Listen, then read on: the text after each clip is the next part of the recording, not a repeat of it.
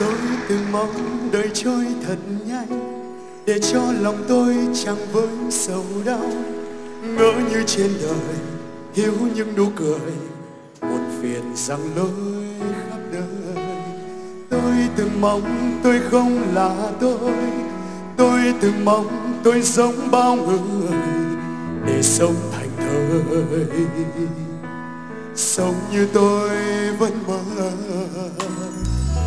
và rồi tôi nhận ra rằng trong trái tim này là tình yêu vô bờ và thắp sáng ước mơ. Và rồi tôi nhận ra rằng những khó khăn này càng làm tôi thêm yêu cuộc đời và thắp sáng niềm tin trong tôi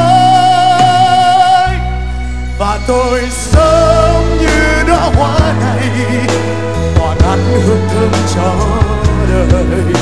Sống với nỗi khát khao rằng được hiến dâng cho cuộc đời. Hôm nay dẫu còn gian nan, thì ngày mai là ngày tươi sáng hơn.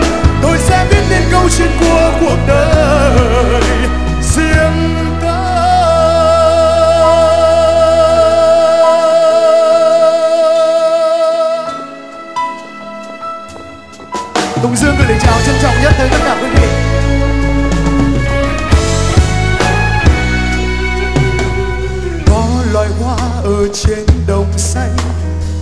Loài hoa khoe sắc trên cành. Mỗi loài hoa tôi yêu biết bao.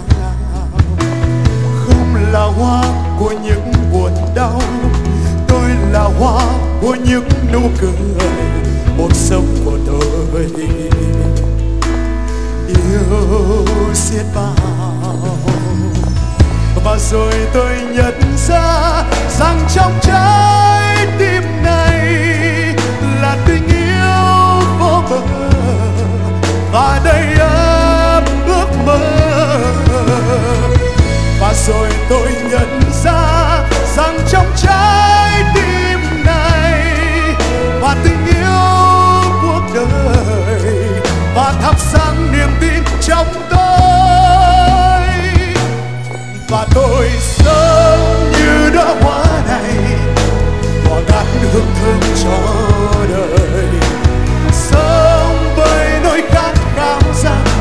được hiến dâng cho cuộc đời.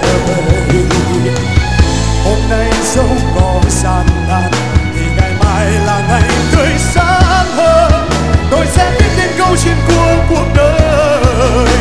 Riêng tôi